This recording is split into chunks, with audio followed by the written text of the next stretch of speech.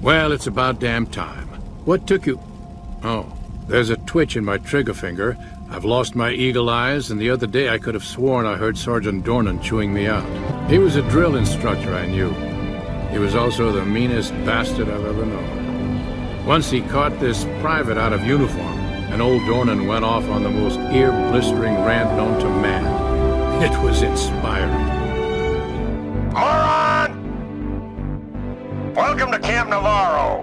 So you're the new replacement. You are out of uniform, soldier! Where is your power armor? You expect me to believe that, maggot? The truth is, you've lost an expensive piece of Army-issue equipment. That suit is going to come out of your pay, and you will remain in this man's army until you are 510 years old, which is the number of years it will take for you